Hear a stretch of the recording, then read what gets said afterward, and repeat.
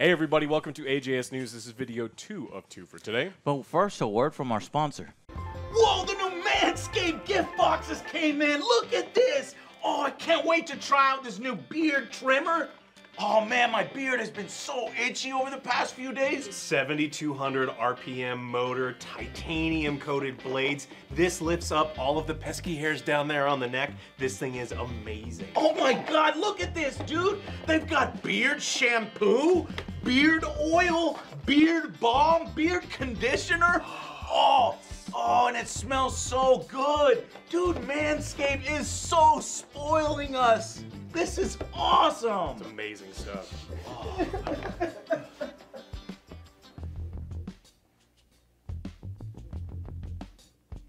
Whoa!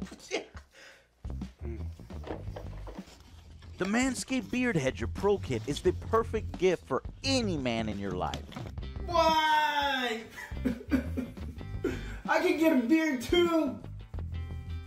Well, almost any man in your life. Get 20% off plus free shipping and two free gifts at Manscaped with promo code AngryJoeShow at manscaped.com. Guys, grab yourself a kit. This new Beard Hedger Pro. It is fucking awesome. And I've been using it. And, you know, I use, I used something before that didn't have like all the settings. This has half settings. Now, I haven't used it today, but uh, previously I'd used it. But, you know, it was fucking, you know, I was like, holy shit, it makes my beard look so fucking good. I just woke up right now, so I just ran upstairs. Otherwise, I would have used it. But I looked really nice because of this half setting in between that cool. my other one Wish doesn't. You wish you can use it, Joe? yeah, see, this it's got eight, 7.5, 7, 6.5. My other one didn't have that precise measurement. So, guys, I love it. Click the link down below and uh, grab yourself one if you've got some facial hair. And if you don't, like your Joe, then there's plenty of other Plenty of products stuff. up there uh, for you guys. Uh, AJS News is uh, Dead Space Angry Review will be out later tonight or tomorrow at the latest. Um, and we are already working on Hogwarts Legacy. I cannot wait uh, to do an angry review for that. Sorry, obviously, you know, January and the beginning of February, real rough, uh, but we're catching up. And uh, so we'll have those uh, to you as soon as we can, and man- many more. So, Alex, what has been happening in gaming news? Part two. Well, this is more a uh, public service announcement. If you've never played Baldur's Gate 1, shame on you. Uh, but now is the opportunity to make up for it and for free. If you are a Prime subscriber, you can get Baldur's Gate Enhanced Edition completely free from March 2nd through the end of the month. Uh, amazing. It's And all you have to do is be an Amazon. And most of you uh, probably- Prime. Everyone, probably like are, a lot of them I take advantage of Prime all the time with the free shipping Yeah. stuff. and so- amazing movies. Yeah. Yeah. So check that out. um, uh, we also got new stuff real recently, something that I know you'll be really happy. Baldur's Gate. Cyanide has apologized for Blood Bowl 3. Um, What? Yeah. You made a all- video. They, uh, I did. I made an angry rant. Check it out. And that rant is like literally just on the microtransactions, a little bit on some of the gameplay, but I didn't even go into all the other issues, Joe, like actual gameplay issues and fucking UI issues and interface. It is just a fucking disaster. Well, they apologized for some of that. Um, they apologized for the server issues. Um, Server issues? yeah. No. It was the biggest That- thing that- that that's you- the least. Oh. then it's the well, obviously it's one of them, but they're like, oh yes, we apologize for how um, there's lag in the world. There's something else. sometimes games can have lag. Uh, nobody. Well, they, mm-hmm. they, they they also said this. We we know that we pro- we will probably not be able to convince all of you, but we truly believe that our system is fair, rewarding, and optional, and that's understandable. you feel There's like a it was pro- fair? uh, there's a sense of pride and accomplishment when, you, purchase the uh, one fucking armor piece of six for all 16 of your roster players for one of your teams, and then there's 12 teams, and there's going to be more teams coming, and you have to buy more pieces. No, absolutely not. Something need. This is a shit apology, and this needs to be like, oh my god, all hands on deck. Uh, uh, we're we're uh, going to optimize the game. We're going to fix the game. And you know what? You're right about microtransactions here. Here's an in-game currency that you earn just from playing it, so that you can unlock these pieces faster. And by the way, here's a much wider variety of cool-looking pieces because all your pieces are shit. It's all fucking shit. And I actually got a fucking refund. I played 116 minutes, so I had four minutes left. Yeah. and by the end, I was like, Kinda after close. my anger in, I was like, oh shit. Yeah, You just tell Cut it Steam. close. Yeah, tell Steam. It's like just look at the store, and they're like being. And I felt so good. And I, honestly, I did that refund. Normally, I wouldn't refund. Normally, I'd, I'd keep going. But I read one or two reviews. There's excellent, excellent reviews. Just upset ass people that go point by point. And I wish I did it in my angry rant, but they got to be short. And I was just focusing on one thing. And I was like, you know what? Fuck this. I cannot support this. And so I uh, so I that. refund. I was very much so. I wanted to do a whole league for us.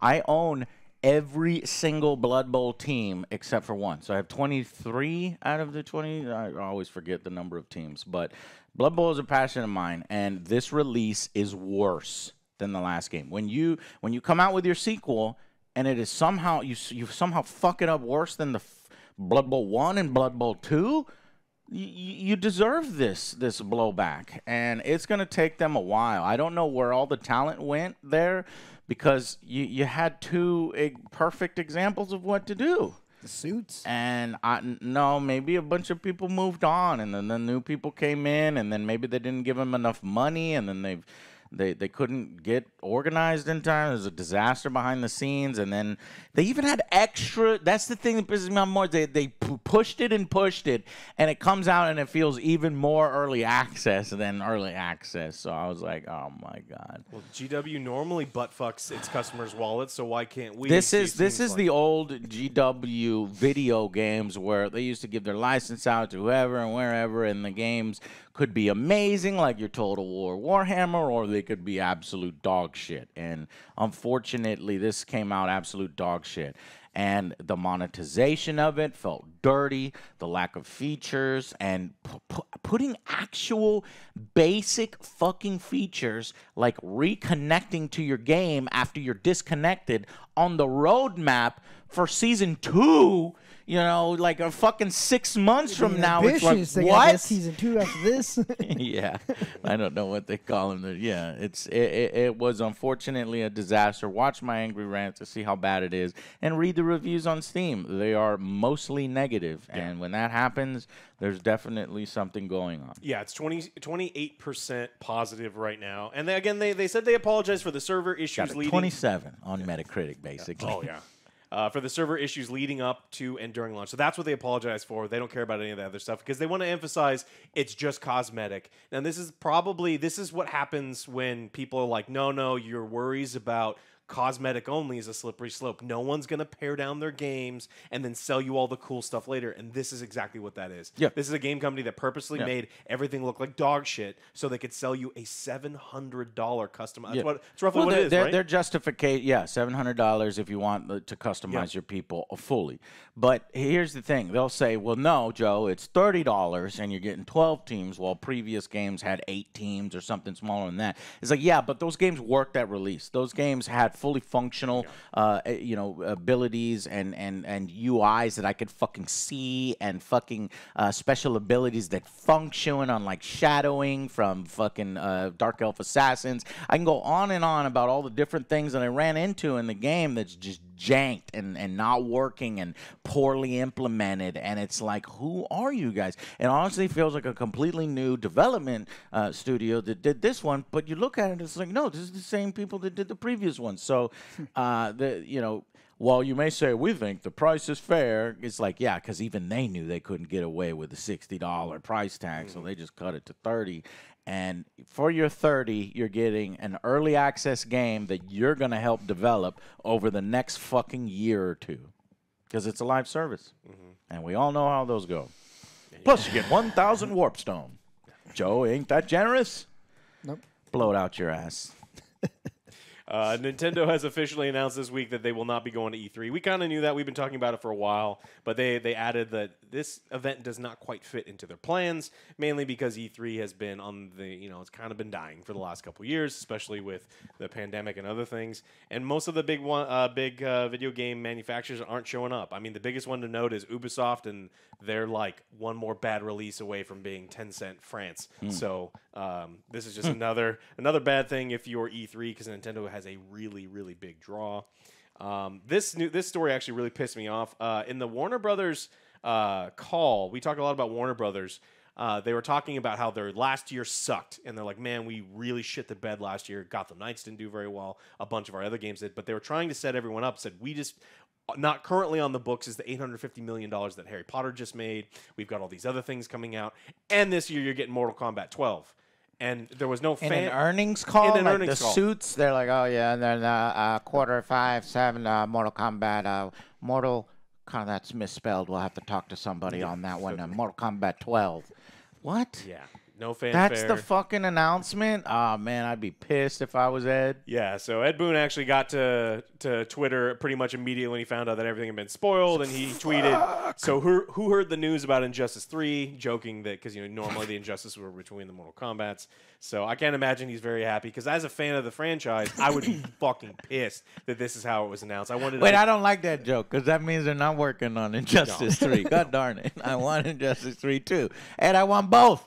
Did you just spoil the actual development of Injustice 3? No, because they're not working on it. Justice Three confirmed. Uh, yeah. No, but I'm I will take Mortal Kombat 12. I'll take it way over Injustice. So I am super fucking happy. I'm super fucking hyped, but it doesn't feel like it because that's the worst way to announce it. So badass honestly, cinematic trailer or whatever exactly soon. whatever they were planning to do, they're like, "Fuck, man, we we're, we're building all these assets and we're building, uh, you know, this thing, marketing for it, but we- we're not doing it for another three months. This fucking asshole just stole. It's like we can't do anything about it.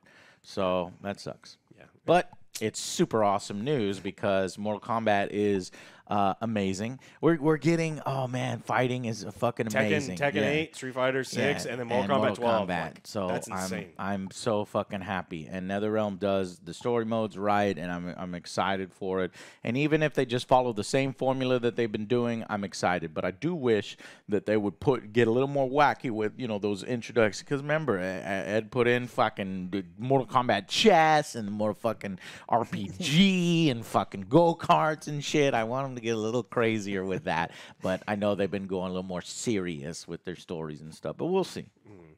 Uh, we got really big news this uh, week out of Activision Blizzard. Uh, so we thought for a long time that we were going to skip a year in Call of Duties, and so 2024, 2023 was not going to have a Call of Duty. Good. We were gonna- More time for development. well, none of that shit. That's not happening anymore. So What? uh, what's happening is we are getting a Call of Duty. So they the report claims this year that uh, it was there was an expansion that was going to come out for 2022 Modern Warfare 2, which is Modern Warfare 2 Part 2, and uh, Sledgehammer was working on that. And now there's so much stuff in it, so they say that they're going to charge you full price for it now. Oh. So they're turning an expansion to a full price game, but they promise there's plenty of stuff in there. Modern Um, Warfare don't 2 believe it. Part 2. Yeah, yeah, but it's not called Modern Warfare I know. 3, so it is going to be Modern Modern Warfare Warfare 2 Part- Part 2, Part number 2. 2, because Number it's the two. second Modern Warfare 2, Two uh, the second. of it, like a rematch. I just right, don't yeah. fucking- I don't Modern fucking- Warfare 2 Part 2, the second.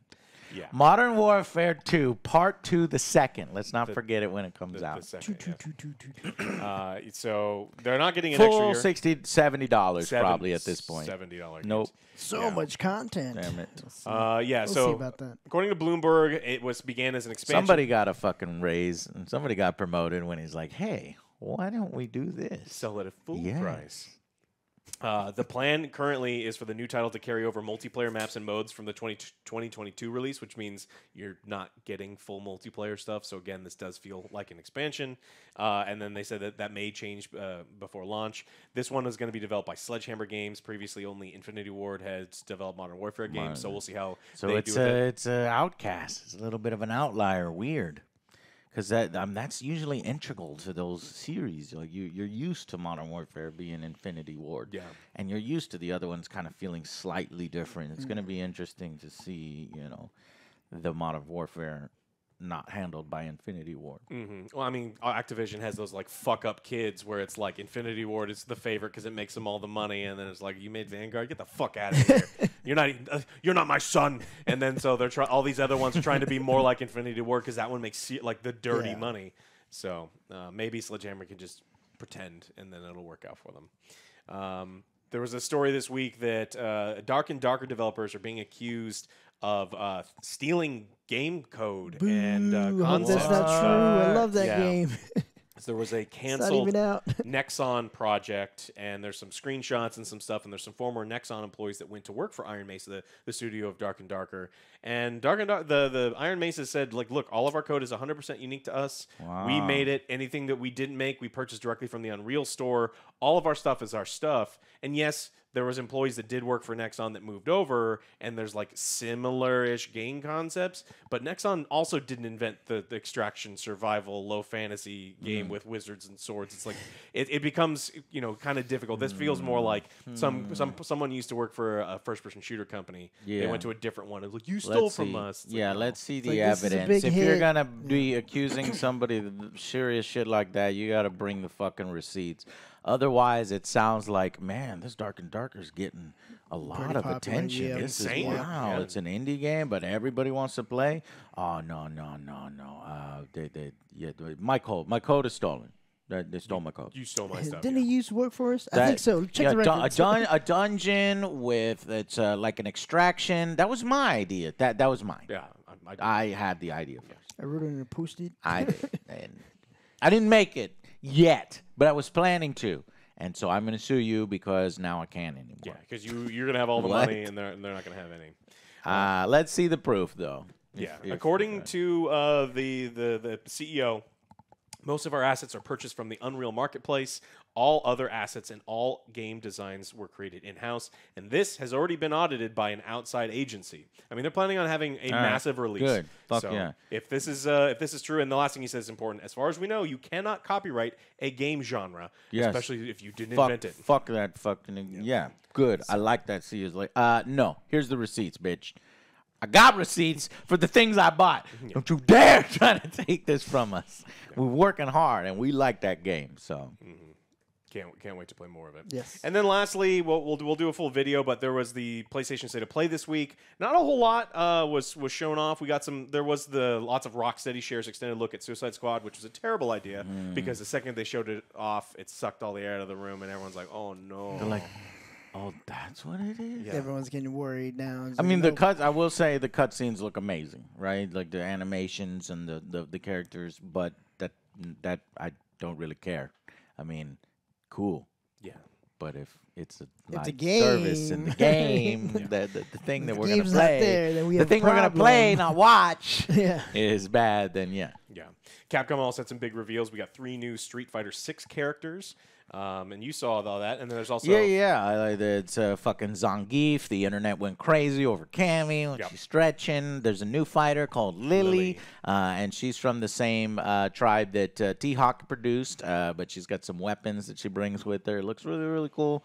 Some tomahawk busters and things. So um, some clubs. Uh, things are looking good for Street Fighter Six. Can't wait. Mhm. Baldur's Gate That's June. 3 also got uh, an official launch date for PlayStation uh, August 31st.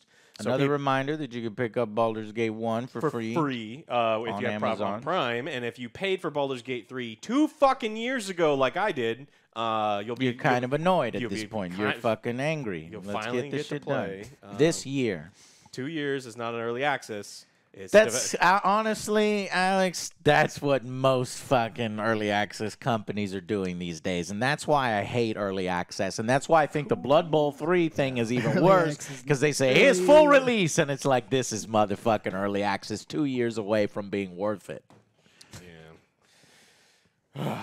uh, new Resident Evil 4 trailer confirms return of the Mercenaries mode, um, and then of course there was all sorts of the, wait, wait, what? Um, Resident Evil 4. Oh, uh, yeah, Resident Evil 4 trailer confirms the return of the Mercenaries mode. Cool. And then, of course, there's the VR uh, stuff that the PlayStation Yeah. wanted to show off. And, Yeah. And, and Resident Evil 4 VR was something they wanted to make sure. when when uh, Resident Evil Seven came out, there was the VR that we tried. It was amazing. Um, and we did that with Perluna, and we had the fucking headset, and we were all freaking out with the bugs and shit. Yeah. It was just done so well in VR. Horror in VR works.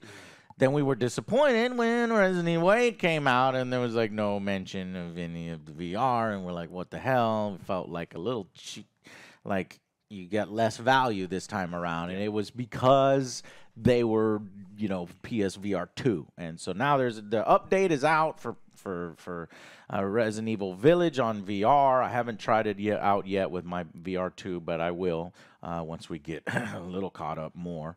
Um, and but it looks like when Resident Evil 4, uh, wait a minute.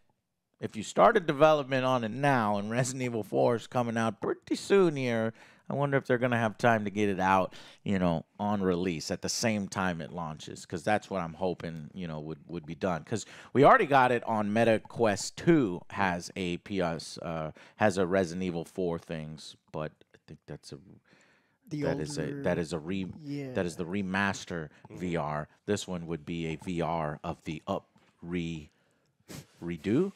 What do you call it? It's remaster as well or remake. Re-re. Yeah, it's a remake. So you got remake and you got remaster. So this was a remake. Resident Evil 4 remake VR. Uh, Capcom is like two years behind on all their shit. I mean, Yeah, whatever they- Capcom does not provide a release window. Darn it.